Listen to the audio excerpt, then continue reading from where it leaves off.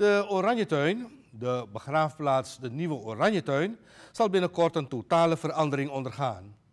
Hiertoe is vandaag gestart met de schoonmaak van het terrein van de begraafplaats. Tussen de Gravenstraat en de Nasilaan. Er is een commissie samengesteld om de tuin te rehabiliteren onder leiding van Johan Rozer.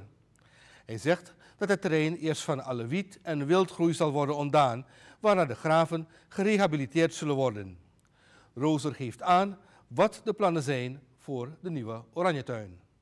Het uiteindelijk doel uh, zal niet verschillen van uh, wat er door Rotary is voorgesteld.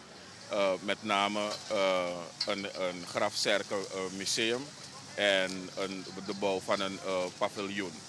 Maar wij denken dat we een beetje verder kunnen gaan door onder meer het uh, maken van een uh, cultuurhistorisch centrum hier, waar niet alleen maar informatie over Oranjetuin uh, beschikbaar is, maar ook informatie over de historie van Paramaribo zelf ook.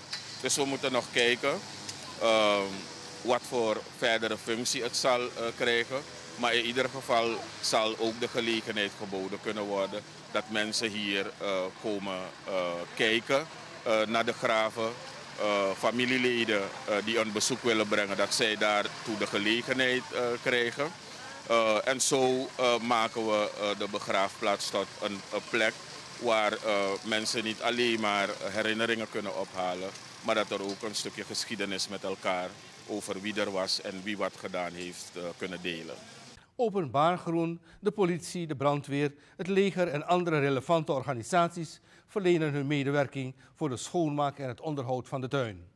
De bedoeling is dat de tuin met graven helemaal wordt schoongemaakt. Waar nodig worden de beschutting en de graven opgeknapt. Tijdens de werkzaamheden en ook nadien zal de politie de ontwikkelingen van de tuin nauwlettend in de gaten houden.